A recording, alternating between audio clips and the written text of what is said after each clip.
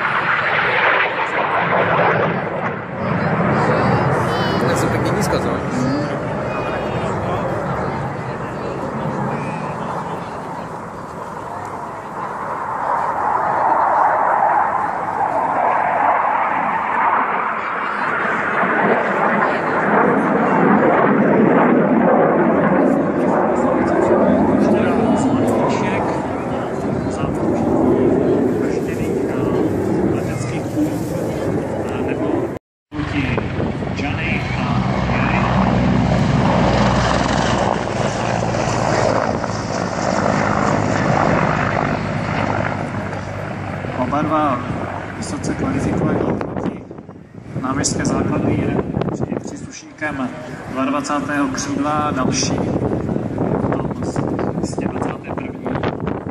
planetky. které potom jsou, slouží zejména k ničení těžce zodolněných cílů nebo tankové techniky.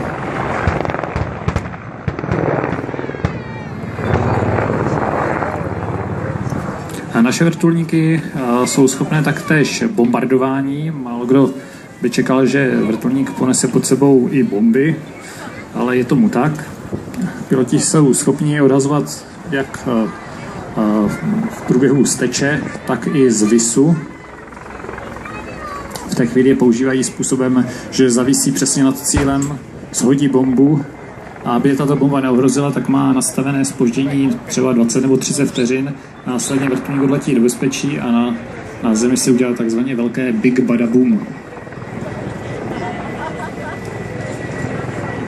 Letiště Čáslav. Vedoucí letoun předletěl dopravní stroj, ukázal se mu pomocí vizuálních signálů, si snažil navázat spojení s pilotem dopravního letadla a toto dále vedl spolu s ním semka nad letiště. Zadní letoun celou formaci zajišťuje a je připraven v případě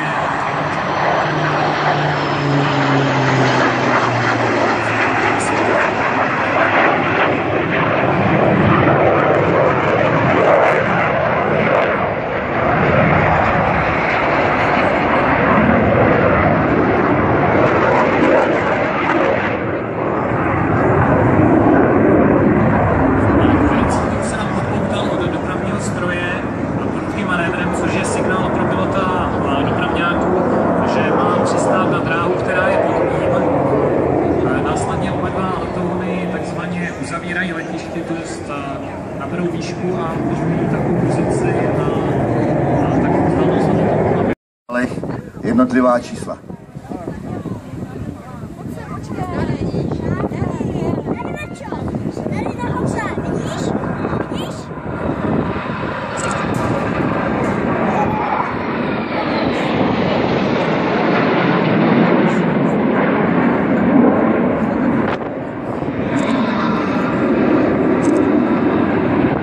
Tak, ale to mi se rozkazuje na základnou, Přistávek budou jednotlivě a prakticky tento způsob rozchodu se používá běžně v aviační státek, říká se takzvaný break nad základnou.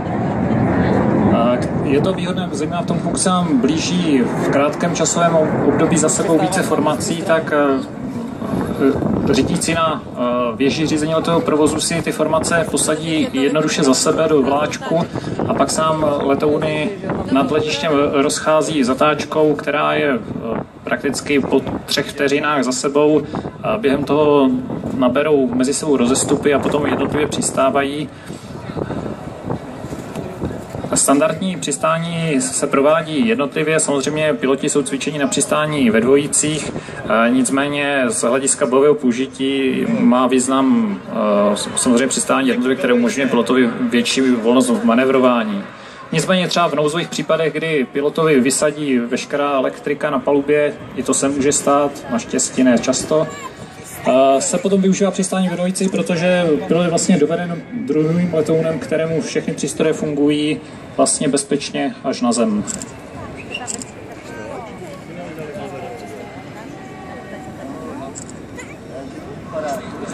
Gripeny nám přistávají ve směru dráhy 1.3, což znamená zkráceně ve směru 135 stupňů magnetických. Letouny Gripen jsou sofistikovaná letadla, která nejsou tak háklivá na boční či zadní vítr. Navíc pro nás z pořadatelských důvodů to má taky tu výhodu, že po přistání můžou hned uvolňovat vzletovou a přistávací dráhu a pojíždět do prostoru letových sto, letových, letové stojánky. Přistání, které provádí celkem blízko za sebou, někdo by mohl namítnout, že to může být nebezpečné, kdyby měl předchozí letoun závadu. Nicméně, vzhledem k tomu, že tady máme celkem širokou vzletovou přistávací dráhu, nebo relativně širokou, tak letadla přistávají takzvaně do, do, do rychlého pruhu, neboli anglicky fast stripu, který je jakoby vzdálení, který tvoří vzdálenější polovina vzletové přistávací dráhy tady od diváku. A jakmile jsou schopné účinně prověřit brzdový systém a zpomalit na že to řeknu, pojížděcí rychlost, která se obecně pohybuje pod 100 km za hodinu, tak přejíždějí do té blížší poloviny vzletové přistávací dráhy, do takzvaného pomalého pruhu neboli slow stripu. A tam už se jim potom možno snížit rozestupy mezi letadly a navíc pokud by další letadlo mělo problém s přistáním a potřebovalo takzvaně zopakovat a pokračovat znovu do okruhu pro přiblížení, tak má přece už dále potom volnou runway. A vzdálenosti mezi letadly na přistání se pohybují okolo jednoho kilometru. To znamená, když jedno letadlo přeletává začátek dráhy, tak další je kilometr před ním.